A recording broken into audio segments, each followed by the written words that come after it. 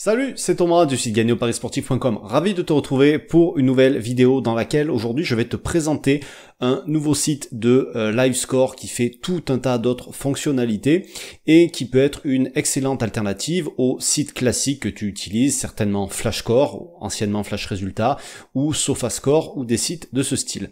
Euh, j'ai décidé de te présenter ce site-là aujourd'hui parce qu'il fait plus de choses que les deux premiers, euh, même s'il y a des choses que tu vas retrouver qui se ressemblent un petit peu et aussi parce que euh, en fait moi tu sais je suis un feignant et si aujourd'hui tu prends euh, certaines choses en compte pour tes analyses, euh, notamment sur le foot, tu vas voir que ce site te regroupe beaucoup de choses au même endroit et donc ça peut peut-être te faire gagner énormément de temps et c'est ce que je voudrais te présenter aujourd'hui. Donc des sites comme ça, je t'en présente régulièrement. Dernièrement, j'en avais présenté un qui s'appelle iScore que tu peux aller voir en cliquant sur le petit i là-haut. Et euh, l'idée, c'est de te faire le, de, de, te montrer un petit peu tout ce qui existe pour que tu découvres certains outils et que tu choisisses celui qui sera le plus adapté pour toi. Donc celui que je vais te présenter aujourd'hui, il y a encore une fois la majorité des, euh, des fonctionnalités qui sont euh, pousser un petit peu plus loin pour le foot, mais il y a aussi euh, des fonctionnalités qui peuvent être intéressantes si tu paries sur le tennis, sur le hockey et sur d'autres sports. Je connais pas tout, donc je peux pas te dire si c'est mieux que ce que tu vas trouver euh, ailleurs sur les sites euh, classiques, mais en tout cas pour le foot, je peux déjà te dire que c'est pas mal. Donc ce qu'on va faire, c'est qu'on va basculer sur mon écran et que je vais te faire la démo de ce site-là. Ok? Juste avant, pense à t'abonner à la chaîne YouTube, à activer les notifications pour être alerté à chaque fois qu'une nouvelle vidéo sera publiée, et en cliquant sur le petit i là-haut, tu vas aussi pouvoir rejoindre les contacts privés et ainsi recevoir tous les jours à midi dans ta boîte mail un conseil pour t'aider à progresser dans les paris sportifs et aussi un prono tous les week-ends. Si t'es prêt, on passe de suite sur mon écran et je te montre tout ça. Donc nous voilà sur le site que je veux te présenter aujourd'hui qui s'appelle Oddspedia. Alors Oddspedia, hein, tu vois, à l'interface, ça ressemble au site euh, classique de euh, Livescore. Et euh, bon, déjà, faut que je te le dise de suite, c'est, il y a pas la, y a pas le français. L'option français n'est pas disponible. Tu as plusieurs langues, mais tu n'as pas le français. Donc c'est pas très grave parce que de toute façon, avec le traducteur chez Google Chrome, tu peux basculer en français directement et ça te traduit automatiquement toute la page. Donc, comme tu le vois, tu as, bon, je vais pas te faire les menus, etc je vais te faire la démo directe, on va basculer sur, euh, donc on est déjà sur le foot, hein, c'est la page d'accueil, et je vais aller te montrer, on va directement rentrer dans le vif du sujet, je vais aller te montrer sur un match de foot, euh, directement tout ce que tu peux faire et tout ce que tu peux trouver sur Hotspedia. Donc on va prendre le match de première ligue euh, Crystal Palace contre Brighton et en fait ça tu vois déjà ça t'ouvre pas une fenêtre, ça t'ouvre juste un petit onglet latéral. Alors tu peux l'agrandir ici si tu veux que ça prenne plus de place.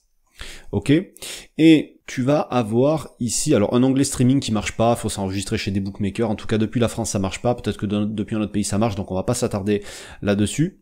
Euh, tu vas avoir la météo, ce qui peut être intéressant si tu prends en compte ce paramètre. Tu vas avoir cette catégorie-là qui est le gros plus en fait de Hotspedia, c'est l'effet sur, alors euh, c'est pas sur les correspondances, mais c'est sur le match. Et donc là tu vas avoir tout un tas de statistiques. Euh, alors évidemment plus les championnats soit important au plus tu auras des statistiques. Hein. Si tu vas sur la D2 en Bolivie, tu auras pas autant de, tu auras pas autant de choses.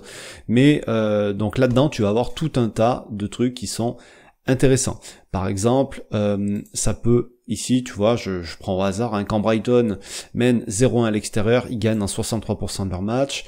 Le nom moyen de but en première mi-temps entre machin est de 0,6. Donc tu vois, faut peut-être pas aller tenter un but en première mi-temps sur ce match-là. Euh, Crystal Palace n'a perdu qu'un de ses cinq derniers matchs de première ligue contre Brighton. Donc ça donne une idée un petit peu des euh, voilà de tout un tas de choses. C'est très varié.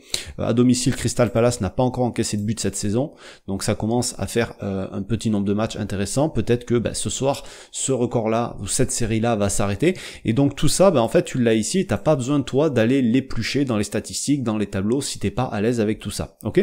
Donc cette partie-là, pour moi, c'est la plus intéressante que tu vas retrouver sur Hotspot mais c'est pas tout, il n'y a pas que ça. Ensuite, tu vas avoir bon la partie euh, cote.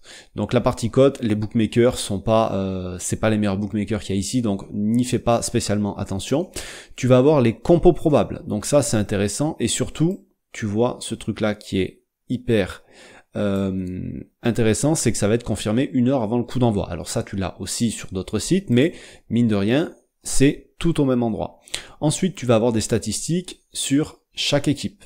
Tu vas avoir des statistiques sur euh, différents critères. Donc allumette c'est euh, en fait c'est match, c'est la traduction de match en anglais. Euh, match, ça se dit, enfin match en anglais, ça veut dire allumette en français, mais ça veut aussi dire match, donc là c'est juste mal traduit.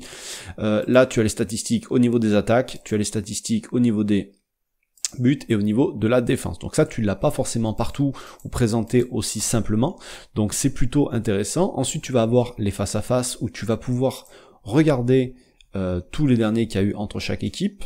Là, tu vas avoir les derniers matchs, donc tu peux filtrer entre accueil, c'est à domicile, et away, c'est euh, à l'extérieur. C'est très très mal traduit, c'est quand même assez incroyable. Et tu peux voir en championnat toutes les compétitions, les matchs amicaux, en coupe, etc. Tu peux filtrer comme tu as envie. Donc c'est intéressant sur le foot, mais tu verras c'est intéressant sur d'autres sports comme le tennis par exemple. Tu vas avoir le classement à domicile et à l'extérieur avec le classement complet comme tu peux retrouver ailleurs, mais tu l'as ici euh, aussi. Tu as aussi les buteurs, ce qui peut être intéressant. Euh, comme ça, ça te permet de voir si, euh, bah, par exemple, Mopé est absent pour ce match-là. Tu vois que c'est le meilleur buteur de l'équipe. Bon, ben voilà, tu vas forcément en tenir compte dans ton pari. La comparaison des codes, comme je te disais, donc comme c'est pas les meilleurs bookmakers, c'est pas forcément euh, judicieux de regarder ça sur différents marchés. Mais ce qui est intéressant ici, ça va être les évolutions des cotes. Et là, au moins, ça te permet d'avoir les tendances de, euh, ben de comment le marché est en train d'évoluer. Donc domicile, draw, c'est dessiné, donc c'est le match nul. C'est très très mal traduit, c'est incroyable. Et encore une fois, l'équipe à l'extérieur. Voilà. Donc ça te permet d'avoir des, euh, des, des indications. Là, c'est le les paris long terme pour le vainqueur du championnat. Donc bon, ça n'a pas vraiment d'intérêt. Et il y a un truc que j'aime beaucoup aussi, c'est que tu as un onglet news ici, sur lequel tu vas avoir des news sur ce match-là. Donc tu vois par exemple, là on a une news qui date d'à peine il y a une heure, où on nous donne les compos prévus, euh, les news de l'équipe, les blessures, etc., etc. Et donc ça t'évite de devoir aller chercher encore sur Google euh, des choses sur ce match-là. Ok, tu, et tu trouves tout directement sur ce site-là. Alors euh, là, moi, j'aime pas regarder les traductions parce que je suis à l'aise en anglais, donc je préfère avoir toutes les choses en anglais. Peut-être que c'est pas ton cas, euh, mais voilà, tu as tout qui est au même endroit, donc je trouve que c'est vraiment hyper pratique et c'est un gain de temps qui peut être énorme. Donc ça, c'était pour le foot.